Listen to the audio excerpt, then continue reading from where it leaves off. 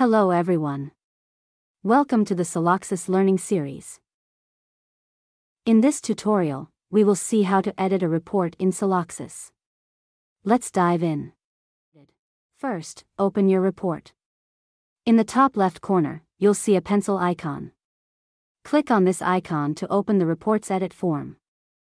Now, navigate to the Filters tab. Here, you can modify existing filters or add new ones.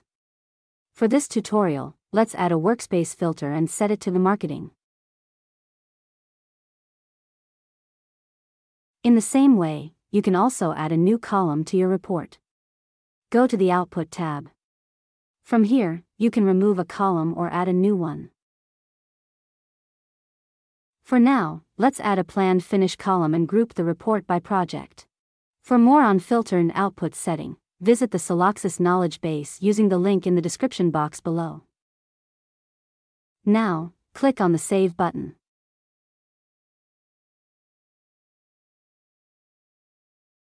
As you can see that our report is now grouped by project, and the new planned finish column has been added.